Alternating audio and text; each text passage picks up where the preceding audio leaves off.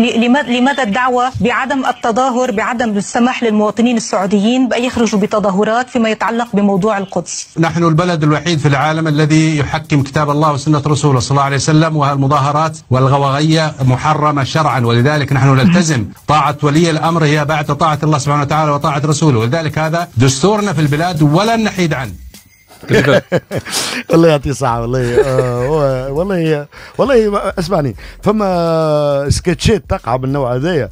والله يا ريت يقعوا مقتطفات هكا كما هكا ويتحطوا في آه الإذاعات وفي الواحد. طرح تحكي على شرع ربي يا, يا, يا منافق. تحكي على شرع ربي.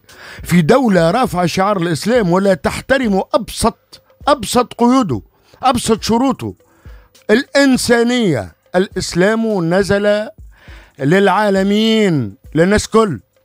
نزل الواه باش يطور هالحياة هذه من حياة سلبية إلى حياة إيجابية. أنتم ترسخون السلبية عند المواطن. شنو هي طاعة آه، أولي الأمر منكم؟ في هذا هي طاعة أولي الأمر منكم. أولي الأمر منكم يشطح لي معناها كل ما كل نهار يطلع بفكرة. و180 درجة بين الفكرة والفكرة. نقعد نتبع فيها هنا. شبينا راعية معناها الشياه نتبعوا فيكم؟ لا يا بابا.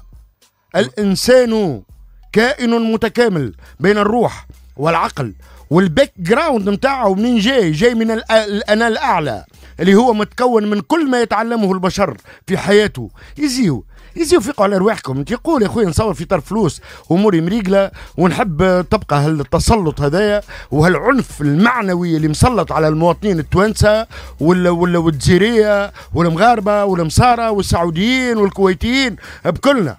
شعوب مقهورة من الانظمه نتاعنا ما تجيش تقول لي ما تجيش تقول لي شرع ربي نفس تحليل زاد ال 400 مليون دولار اللي جاوا هزوهم هذيك حلال محلل اللي هي قيمة 30 سنة حج. المفروض مع مع ولي الأمر أمرهم باش ما يتظاهروش على القدس اللي هي المفروض تكون السعودية هي القدوة معناها من ناحية الدين. اللي قاعدين نشوفوا فيه هو العكس لكن حقه حل الزياره نتاع ترامب ولي الأمر بتاعه قال وهذيك حلال محلل 400 مليون دولار اللي هي قيمة 30 سنة حج. يا لطيف الفتاوي هذه بالحق قاعد تسيء معناتها للدين نتاعنا للأسف. أنه يحكي على ولي الأمر أو فما شروط باش يتسمى ولي الأمر.